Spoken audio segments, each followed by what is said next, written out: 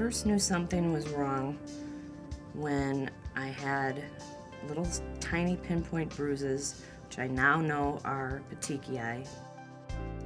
All of a sudden, there's something wrong with you when you've been healthy all your life. I never even had the chicken pox as a kid.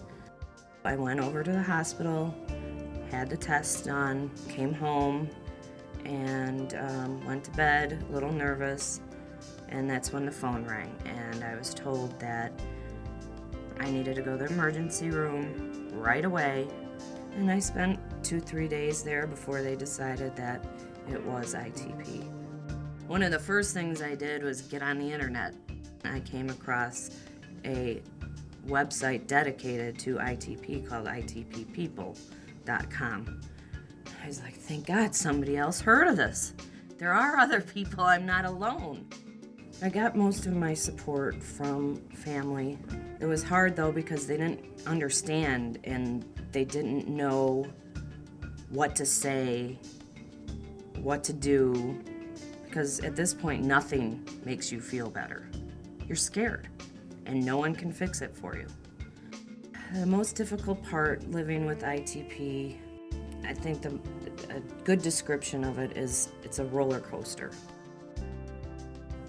You're up and down, up and down, constantly going for blood tests, planning the treatments, scheduling doctor's appointments, trying not to miss work. That's where your insurance money comes from. You don't want to upset them. You worry about losing your job because you're sick now. What I would have liked to have been told when I was first diagnosed is this is not a death sentence. This does not mean that you can't live a normal life.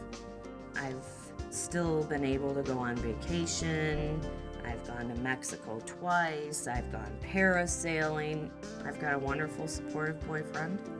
I'm sure he gets frustrated sometimes with the emotional roller coaster, but uh, he's still there, and that's what's important.